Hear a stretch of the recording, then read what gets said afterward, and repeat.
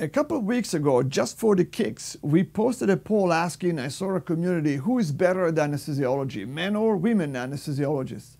The question was not inspired by any agenda, but just for the kicks, given the diversity and inclusivity era we live in. In retrospect, I wish we did not do this, as we clearly rubbed some folks wrong way. Now, don't get us wrong, our aim wasn't to fan the flames. Rather, in this age of embracing diversity, we were curious about perceptions. While professional bodies in anesthesia champion diversity, the poll reactions made one thing clear. Opinions are strong and divided. Some championed women as top-notch anesthesiologists while others argued that men are more focused. A few even labeled women as temperamental and men sloppy and lazy. At the very least, the comments to our polls on LinkedIn and YouTube were reflective of the fact that there are some strong preferences on both sides of the coin. But here's where I stand, or rather where I would prefer not to stand. I echo the sentiment of Nelson. You couldn't get me to pick a side, not even for a million bucks. Quick fun about NYSORA, our backbone is majorly women, of our 25 talented full-time professionals spanning from scientists to marketers to video pros, a whopping 70% are women.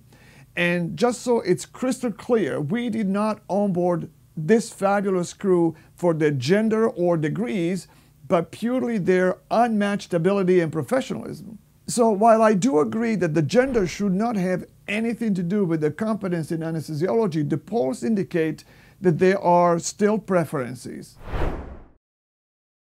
Back to the polls. LinkedIn was a tie, suggesting both genders are equally adept in anesthesiology.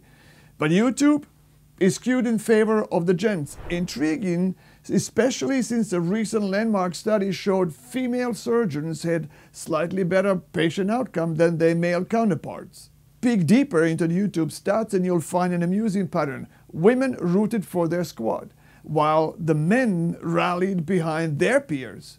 So the controversy over Paul sparked was undeniable, but it also reflects a bigger conversation as seen by the media attention to studies like that of Wallis and the team.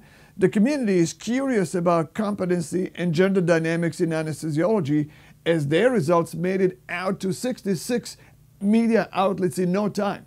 We might have been a tad hasty with the poll, but it sure got everyone talking. And now, when we are stuck with it, we need to provide some of our own feedback without sticking our neck too much. Is anesthesiology a good specialty choice for a woman? Being married to a brilliant anesthesiologist, I have my own thoughts, but today we are turning the spotlight on someone special to give you an insider's take. Meet my wife, Dr. Catherine Vandepitte. And joining her are some top tier women anesthesiologists and dedicated operating room nurses. And if you find this video insightful, give it a thumbs up. And don't forget to subscribe so you never miss the future videos.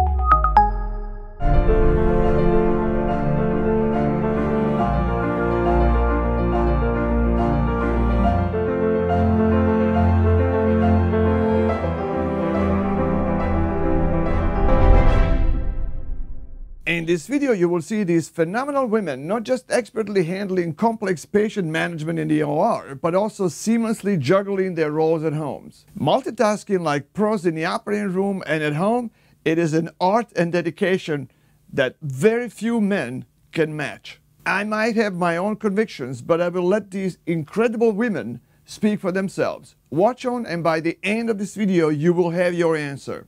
Anesthesiology, a demanding yet very rewarding field requiring precision, attention to detail, and technical prowess. But with its demands, many wonder if it is a suitable career path for women. Let's unpack this. Anesthesiology has seen a steady increase in the number of female practitioners. Many women are drawn to its unique challenges and the opportunity to make a difference in patients' lives in the operating room and beyond. However, like any profession, anesthesiology has its challenges. Long hours, on-call shifts, and the pressure of needing to make constantly life and death decisions in the operating room. So is anesthesiology a good profession for a woman? Yeah, I think it is. Uh, I think uh, women are great at managing things. They, have, they are punctual. Um, yeah, they uh, they can manage it well with a, maybe a dominant surgeon. Um, they, their approach is a bit softer maybe than with male anesthesiologists, um, and that will make a, a good match sometimes. Uh, I think they can multitask well. They can switch on and off between work things, between uh, things at home. Uh, I think that way it's uh, yeah it's a good profession for women. Who makes better anesthesiologists, men or women? Um, yeah, I would say women because I'm a woman. but uh,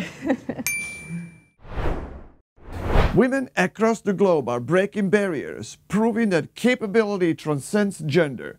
Anesthesiology, with its challenges, also provides flexibility, making it a popular choice for many women. But let's talk to some power of women in anesthesiology to find out if it's a good career choice for a woman.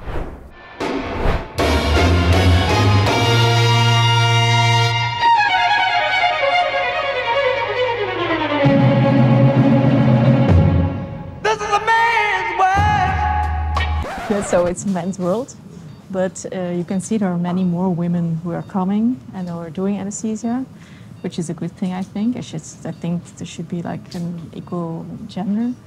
Um, but I mean, I like it. I like it also, even though it's sometimes between the men and especially the male surgeons and orthopedics, they can be tough sometimes. Who's better as anesthesiologists, men or women? Women. Women. Women. Today, I'm thrilled to highlight an exceptional individual, my incredible wife, Catherine Vandepitte. The image captured here paints a vivid picture of her resilience and dedication, a characteristic of the anesthesiology profession. Her relentless dedication both to her career and our family is awe-inspiring. As an anesthesiologist, Catherine faces a plethora of challenges daily. She gracefully balances raising our three vibrant kids with her early morning gym workouts at 5.30, an hour-long commute, and extended hours in the operating room. Often in a lead apron throughout the day, she adeptly manages a myriad of vital monitors, interpreting complex physiology data to administer anesthesia while safeguarding patients' health. Yet her roles does not end there. Catherine excels in multitasking, ensuring smooth patient transitions and deftly managing schedules. Simultaneously, she stands firm as a devoted patient advocate and intraoperative care specialist. And despite her professional demands, she's always available for our family handling the little crises that come with parenthood. Her workday typically concludes with an hour's journey home, often by 7 p.m. I often tell this joke that when Catherine went to visit her sister for a couple of weeks, she left me with three kids. And it's only then that I realized that for the last 10 years, behind my back, she has been taking care of my kids.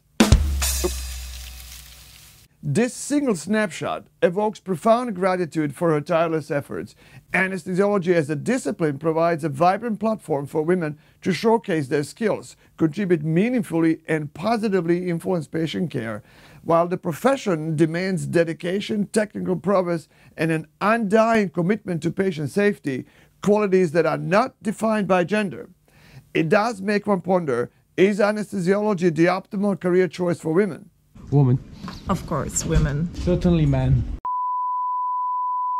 And that was it. I think you have your answer. And thanks for tuning in today. If you found this video insightful, give it thumbs up. And don't forget to subscribe for more discussions and never miss the future videos. Comment below with your thoughts and we'll see you in the next one.